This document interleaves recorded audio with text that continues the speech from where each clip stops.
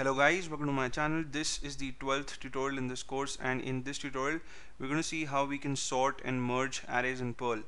So I've got a script opened up here, it's called array underscore sort underscore merge and in this script on line number 3 I have created an array variable called string underscore arr which has the elements 1, 2, 3, 4, 5, 6 and 7 and these are words and not numbers and uh, if these were numeric values and if they were present in the order uh, 1 to 7 then you could say that the array was already sorted. But you know we're not working with numbers here but we're working with words. And if you have a list in which you have words and if you would want to sort the list like you know something like a dictionary then it would make sense to sort the list alphabetically. And that is what we're going to try to do. But before we do that on line number 4 I've got a print statement that's first going to display the text original string list. It's going to show a comma and then I am going to print the contents of this particular array right? So I'm going to see words from 1 to 7 in the order uh, that you see on line number 3 in the declaration statement here.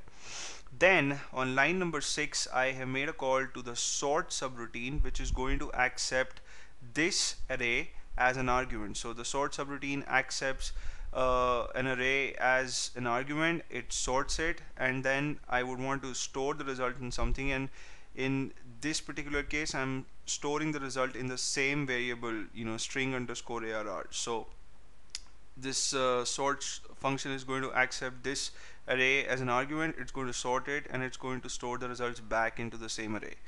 Then on line number 7 I have a print statement that's going to show me the sorted list. So that's about sorting.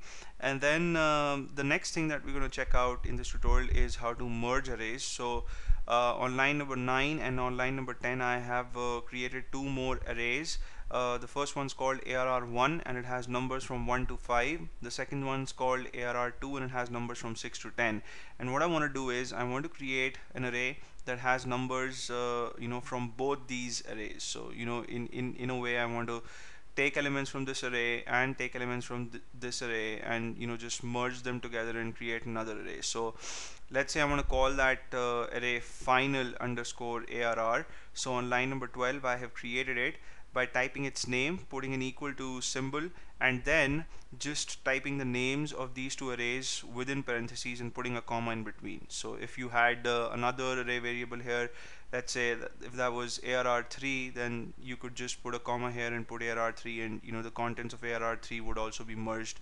um, with these two arrays. And then finally on line number 13 I have a print statement that's going to display the contents of the merged array. Uh, which uh, is final ARR so let me show you the output of the script. I'll have to press F5 to run it. So here we see the original string list 1 2 3 4 5 6 and 7 and then we see the sorted string list 5 4 1 7 6 3 and 2 so you know this is the alphabetical order. And then uh, finally we see the merged array 1 2 3 4 5 6 7 8 9 and 10 and over here I have specified ARR1 first and that's why you see the elements from ARR1 before uh, elements from ARR2 and if you would change the order then you know the order in which the elements are stored in final ARR would also change. So that's it for now. I hope you guys like this tutorial. You may subscribe to my channel if you haven't already. I'm going to see you in the next video. Till then take care